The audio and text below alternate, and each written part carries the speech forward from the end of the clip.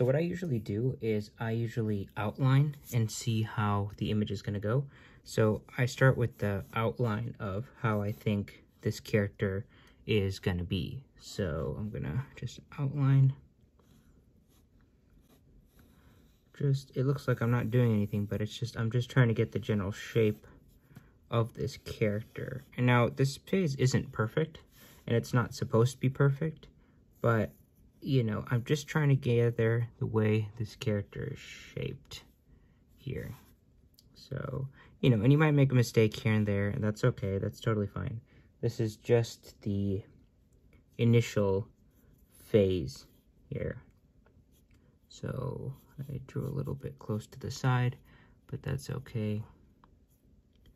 I'm gonna give an ear up here. Here's some hair.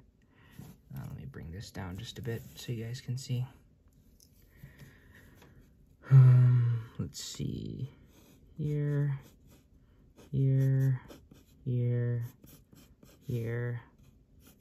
You know, I'm just outlining what I see right now.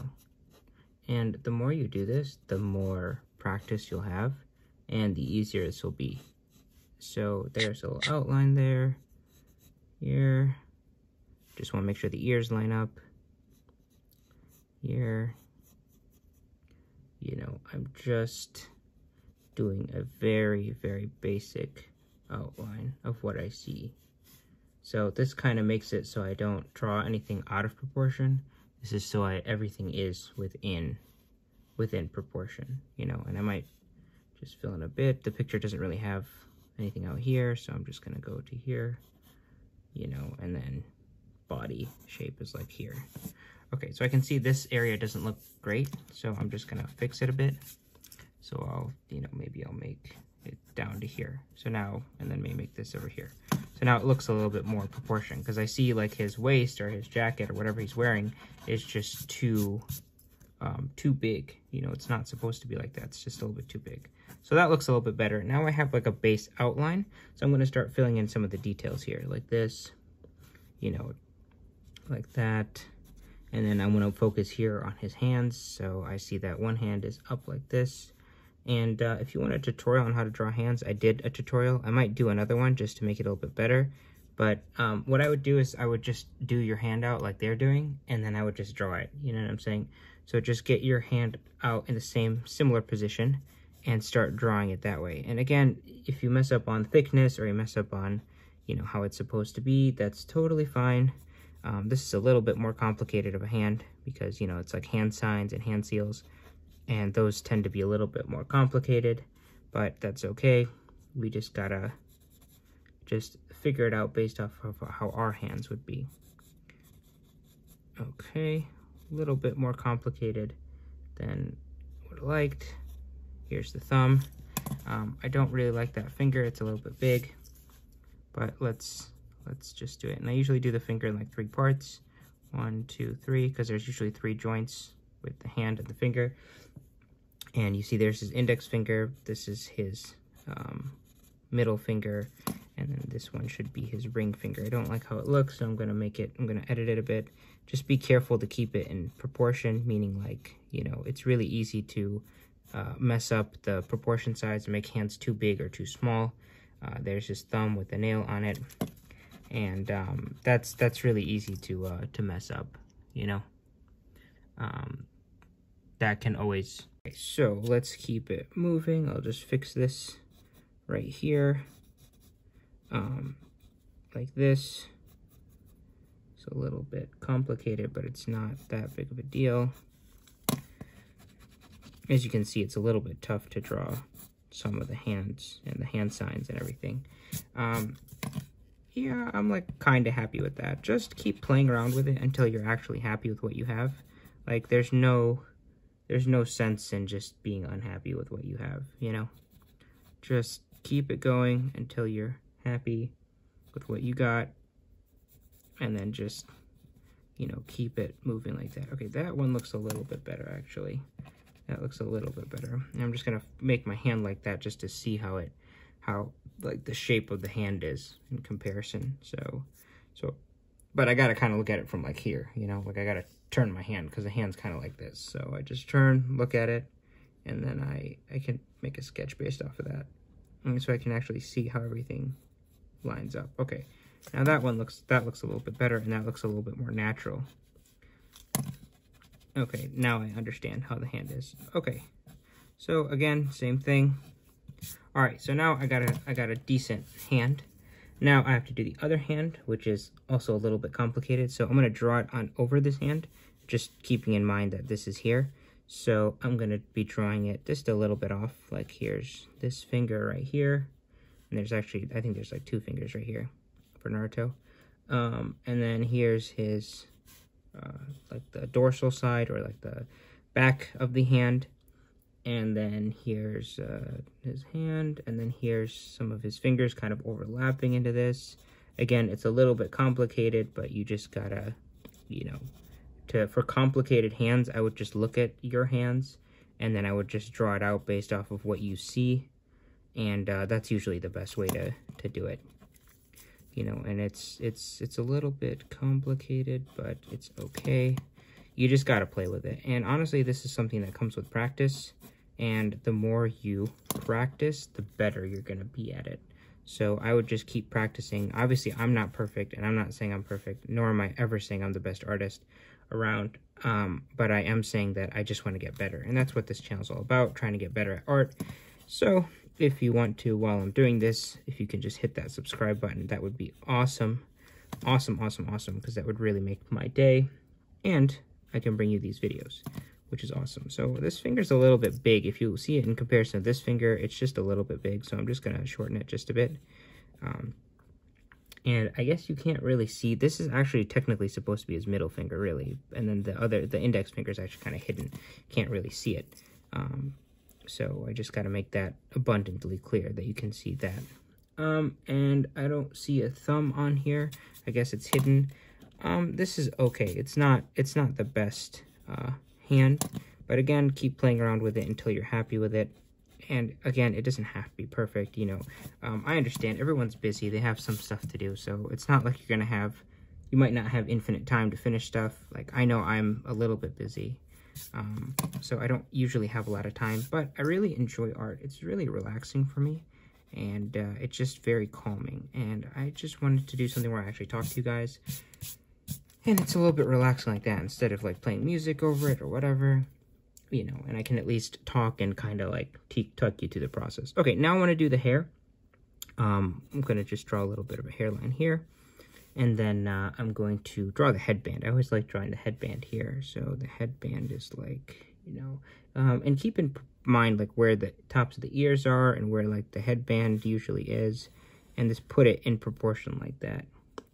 Looks like it's like a big headband flung here. And there's some hair here that we missed. And just here and here. And it's kind of like that. Now, I'm not saying this is going to be perfect. Of course, uh, drawings like these usually take like a few hours to, to, to, to finish. And I'm just trying to finish it quick, just because I also want to show you some like other details, like uh, coloring and those other stuff. And um, it's, it's really hard for me to film and uh, be able to draw at the same time. It's a little nerve-wracking because I'm trying to think about what I'm saying and everything, but, you know, I, I just want to do my best that I possibly can do and just, uh, you know, go, go from there. Um, I just didn't like how the hair is turning out, so I'm fixing it. You can always fix things. That's the thing with the pencil stage. You can just pencil and fix fix whatever you need to fix, you know? If you don't like something, fix it. If you like something, you can leave it as is. And there's going to be times where you draw stuff and you're just not going to like how it turns out. Just drawing the ear here. And then you got to just, you got to just keep fixing stuff, you know. And that's okay. That's totally fine.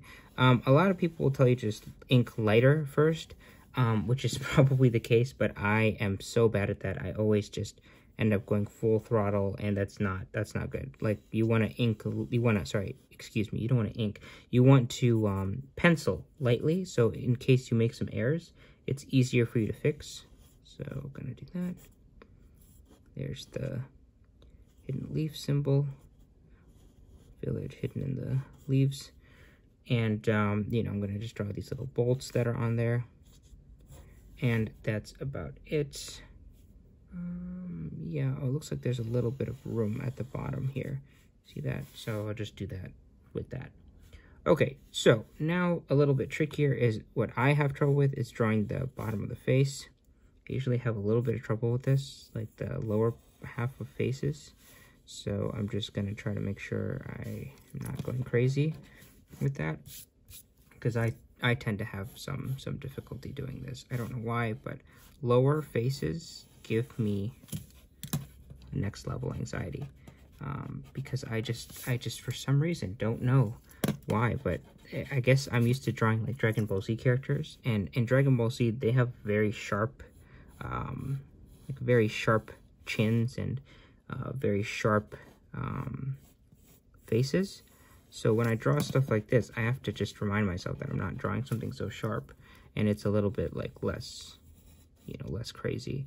And again, you might have to fix some proportions like that ear is no longer in proportion because it's too big fix it. You know, you just got to keep fixing stuff. That's really what it is in drawing. It's just constantly fixing what you're what you're doing. And see, I mean, his his headband's a little bit off, but um, you know, now it looks like it's turned a little bit more to the side. And um, I mean, that's uh. Kind of looks like how the drawing is, so that's okay. Um, next, I'm just gonna start with the mouth because I just kind of, kind of like, kind of want to start with that. Just go based off what you feel. Like if you're feeling like drawing the mouth or if you're feeling like drawing the um, eyes, whatever you want. Let's head up to the nose here. And I'm just going to keep in mind where everything is proportionally. You want to make sure you don't uh, forget that. And then his eyes are kind of like a, like a circle. Like I'm drawing kind of like an oval here. And then down. And then kind of like, whoop, like that. And, you know, I might have messed this up, but let's see. Let's After I put in the eyeball, I can usually tell if it's messed up or not. It doesn't look exactly like it, so I'm just gonna, I'm gonna redo that, redo that eye. And it's fine. You're gonna encounter problems, and it's okay. Totally fine to encounter some problems along the way. Okay, that looks a little bit better. Um, and, you know, things will turn out the way your style is, and unless you're trying for exactly how the image is, which I still have trouble with um, going forward. So let me just kind of try this eye one more time. Kind of hook here, down here, like this. And just keep going until it looks like it's supposed to look. There's the pupil, and then there's the light reflection. Okay, a little bit better. And then I'm going to make a, another eyebrow here. And again, I'm just kind of looking at the image and following it. You know, I know people use guidelines and they do that. And if that works for you, do it. You know, do what works for you. If you like the guidelines, do the guidelines. Um, but for me, personally, eh, guidelines have just never worked for me. And it's just, it's not because I'm such an amazing artist, because obviously, clearly I'm not, as I'm struggling here. Um, but it's it's it's also it's basically because it's just not how I used to draw. You know, when I was young, I just draw like what I saw, and that's how I learned. You know, I never um, I never had the opportunity to use like books or anything, or you know, or uh, guidelines. I never had that opportunity. So, you know, this is the way I learned, and this is me showing you guys how to how to do that. Um, you know, just darken the eyes a little bit. So if you just want to, you just gotta start with the shape, and then like I said, we're gonna come here to the to the eyes, um, and the mouth and the face. Now we got that. Now I'm just gonna draw a little area for the chin, and here's the upper pectoral muscles right here. And he has this kind of like this like I don't know exactly what to call it, but this interesting sequence on his um, his collar right here. So I'm gonna just try to emulate that that sequence with the collar um, and, you know, when you draw more stuff, you become better at it. Like, so for example, if you have drawn something like uh, fluffy or feathery before, or like you might see this in like Victorian times, like uh, this type of like fluff, um, it becomes easier to draw um, more stuff like that. So the more practice you have drawing different things, the better it'll actually become, you know. Um, and the more practice you have drawing like different shapes, the better that'll become. So really, it's just about drawing multiple times. And I agree to a to a degree with drawing things that you you know you see in different places and you know practicing but i just could never get into it because it was just so boring you know?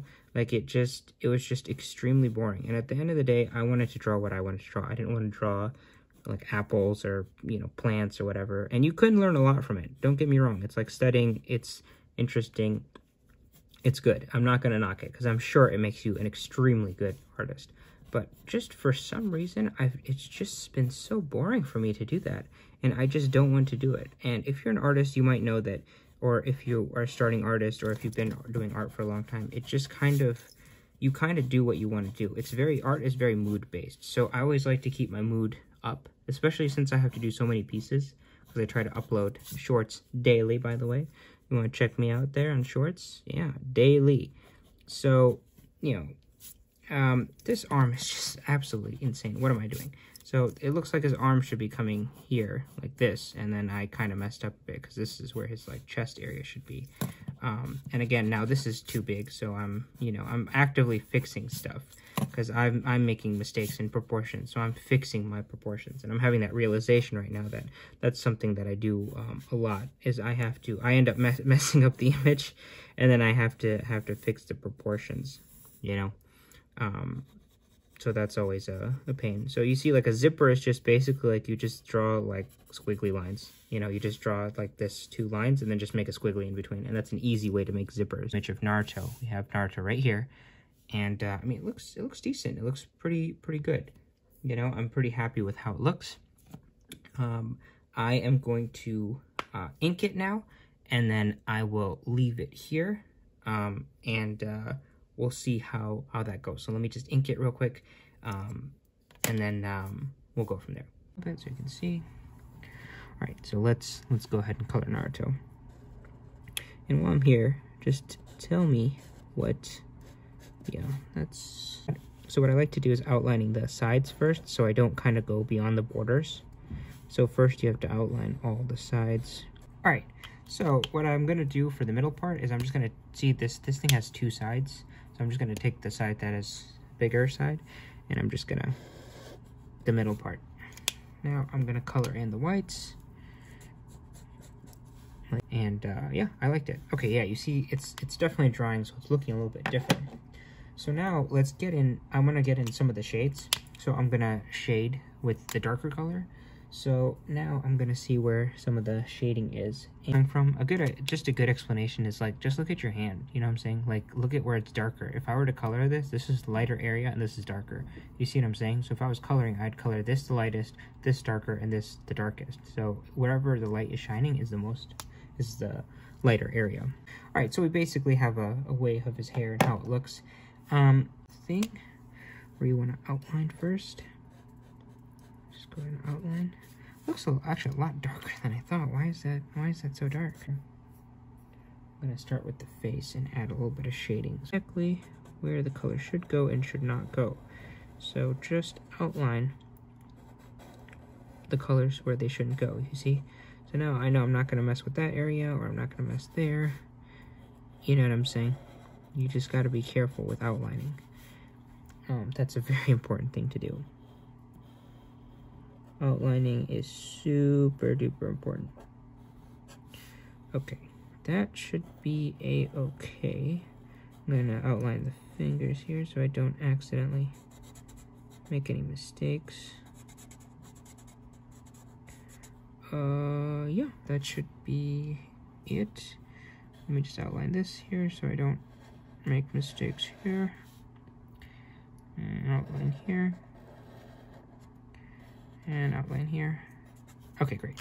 So now I can take, okay, that looks great. And then maybe I'll shade with like a darker color here. Like I feel like a darker blue would look good. And I, I can already tell this is darker. Okay, because I've used this one a few times. So actually, no. Okay. Um, cool pro tip that I learned from somebody else for sure. These jelly pens, these Sakura, are they Sakura? I don't know. Anyway, these jelly pens yeah, Sakura. They are Sakura jelly pens. Um, they're great for the eyes. Like if you want to draw a little, you have to draw a little bit of the white of the eyes, like a little glare. See that? Look how look how great that turned out. And right here, boom, look at that, metal.